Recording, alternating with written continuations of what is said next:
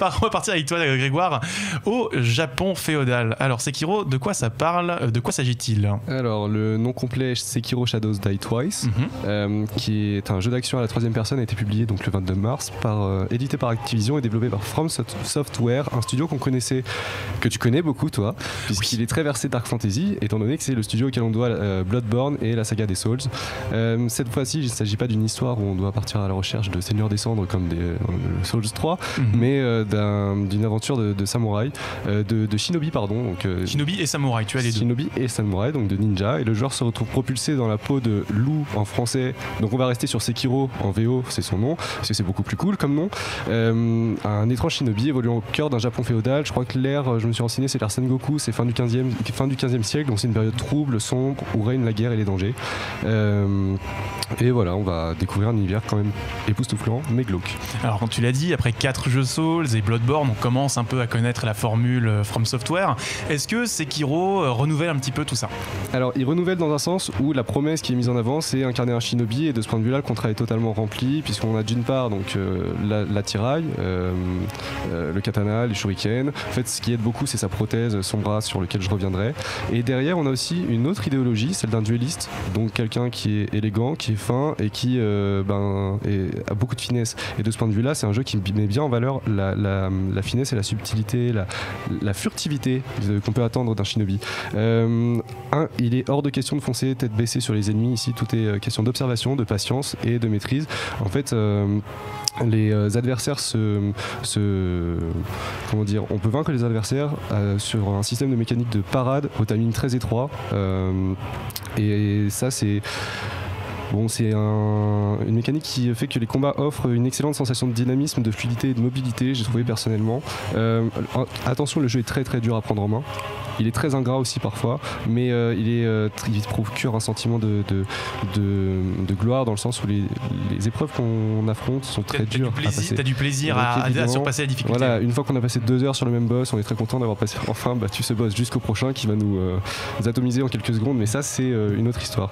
Et alors pour nous faciliter la vie, euh, on a plusieurs cordes à notre arc. La furtivité, hein, c'est un système où on peut s'accroupir dans les hautes herbes, où on peut euh, éliminer discrètement les ennemis, et c'est un- c'est une mécanique qu'on va utiliser beaucoup parce qu'en fait on peut enlever 50% de la vie des boss grâce à euh, ce- ce- cette approche. En plus, l'intelligence artificielle est quand même assez simple et limitée. Je veux dire, les, ennemis ne voient pas, par exemple, quand ils ont un cadavre de leurs alliés sous les yeux. C'est normal. Oui, les mécaniques d'infiltration sont voilà. quand même très très sommaires. ça. Et donc ça, ça facilite grandement la vie. Et puis il y a le bras mécanique. Donc en fait, euh, Sekiro est équipé d'une prothèse en guise de bras droit qui lui permet d'utiliser de nombreux outils comme euh, lancer de shuriken, comme une hache, comme un lance-flamme. Et donc mine de rien, ça va donner beaucoup de, euh, de Diversité. diversité, de réactivité aux joueurs parce qu'il va pouvoir s'adapter à beaucoup de situations dangereuses. euh, il faut bien l'avouer. Situation dangereuse, effectivement. Euh, Est-ce que tu pourrais nous parler un petit peu de l'autre promesse du jeu, à savoir sa gestion de la verticalité, avec euh, notamment bah, voilà, le fait qu'enfin, dans un Souls, tu peux sauter C'est vrai. Et ça, c'est une mécanique qui t'aurait évité de perdre beaucoup de cheveux sur Souls, je crois, Karel. Ouais, Euh, Alors, au lieu de parler de ma calvitie, continue là. Ok. Donc en fait, effectivement, il y a un autre élément clé dans le gameplay de ce jeu, c'est tout simplement le grappin. Effectivement, donc Sekiro est équipé d'un grappin et c'est un accessoire qui change tout dans le sens où ça change la perception globale qu'on a des, des- des combats et de l'univers proposé.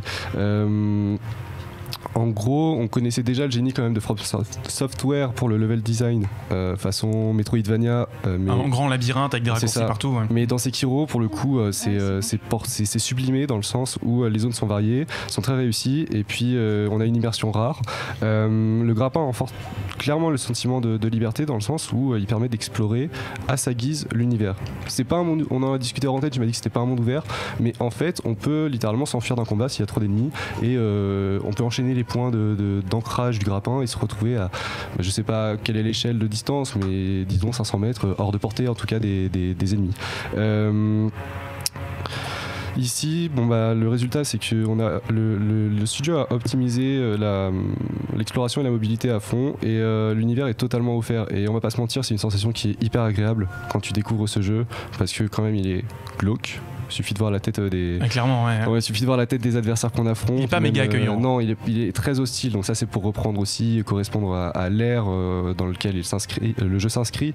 Mais mais il y a quand même une ambiance malaisante et malsaine. Il y a par exemple un donjon, un cadre très fermé où moi je, je l'ai passé du coup. C'est le deuxième, le, deuxième chapitre qui est dans un cadre beaucoup plus fermé, beaucoup plus étouffant et beaucoup plus oppressant. Et j'ai jamais été claustrophobe, mais j'avoue que j'étais soulagé d'en sortir et de me retrouver dans une vallée euh, à l'air libre, quoi. Et donc ça, c'est euh, premier Premier point sur lequel on peut nuancer le jeu. Autre point euh, un peu euh, où je suis mitigé, c'est le scénario qui est quand même très prévisible. Il euh, n'y a pas beaucoup d'efforts d'écriture quand même. On s'attend à. Enfin, c'est. En gros, le Sekiro est au service d'un jeune prince qui s'est fait enlever. Bon, ben voilà, on part à l'aventure pour retrouver ce jeune prince et, et puis on affronte des, des, boss. Certes, on ne sait pas à quoi ils ressemblent, mais finalement, ils sont assez redondants. Il y a beaucoup de mini-boss qu'on affronte qui sont quand même. qui se ressemblent mhm. les uns les autres. Avec, souvent avec des lances d'ailleurs. C'est ça. Du coup, il fait une estocade et tout sur la lance, c'est le même pattern. Euh. Au fond, aussi, la mécanique de combat selon laquelle on part et on esquive au bon moment pour créer des ouvertures et finalement euh, atomiser les boss dans des, bon, des finishing moves qui sont vraiment très élégants et très mortels aussi. Euh, elle est assez répétitive à, à force parce qu'on sait que finalement il suffit de se concentrer, d'attendre et certes, c'est dur, mais il n'y a pas de. Enfin, après 20 heures de jeu, par exemple, il n'y a pas de renouveau dans la manière de jouer. Donc tu passes ton temps à réagir euh, aux, signaux que t'envoient les adversaires plutôt que de prendre l'ascendant et de partir en premier, quoi. C'est ça. Donc euh, pour résumer, je dirais que c'est une production qui est quand même très aboutie, qui exploite au mieux beaucoup d'éléments. Euh, ils ne sont pas contentés, par exemple, de faire un, ben, monde ouvert sans, sans, intérêt ou un RPG sans, sans âme. Rendez-vous pour Ghost of Tsushima, voilà. Hein. Voilà, c'est donné. et après, attention aux casual gamers qui seraient là juste pour s'amuser, ça, ça, sera compliqué. C'est pas du tout le jeu qu'il leur faut. Mais euh, le jeu arrive à faire oublier qu'il est très très dur.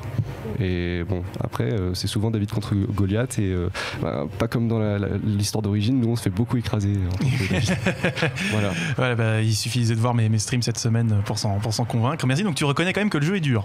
Oui. tu, tu, ne fais pas partie de ces gens qui disent c'est pas dur, c'est exigeant. Non, voilà. très très dur. Je, je te vois sourire, Sybille. Toi, tu as pas forcément une grosse expérience avec les Souls, mais voilà, quel est un petit peu le. Qu'est-ce que ça t'évoque un peu Sekiro? Bah, L'écho principal que j'ai eu de Sekiro moi, côté dev, c'est des gens qui étaient en mode pourquoi est-ce qu'il y a un mode facile?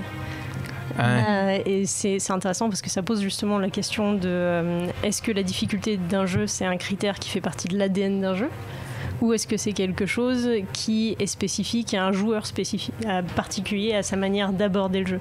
Le mhm. côté justement glauque, le semi-ouvert, avec une, ce qui est mis en avant, c'est l'esquive ou le fait de contourner le challenge. De ce que j'ai compris de ton expérience, j'ai pas encore joué. Hein.